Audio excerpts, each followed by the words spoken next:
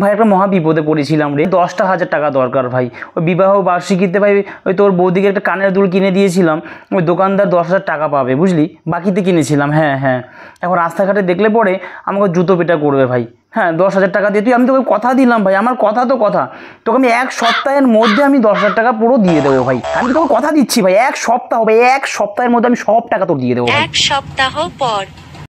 এই রে ভাই আমার ফোন করেছে। কি যে বলি? হ্যাঁ ভাই বল। হ্যাঁ হ্যাঁ হ্যাঁ হ্যাঁ ও হ্যাঁ তোর কাছে টাকা তো নিয়েছিলাম আমি। হ্যাঁ দশ হাজার টাকা না? ও এক সপ্তাহ সময় নিয়েছিলাম না?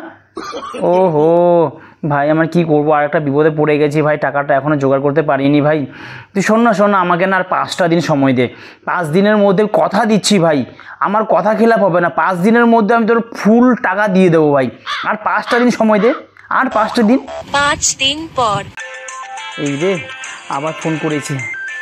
যে বলি, টাকা তো জোগাড় করতে পারিনি। হ্যাঁ ভাই হ্যাঁ হ্যাঁ বল।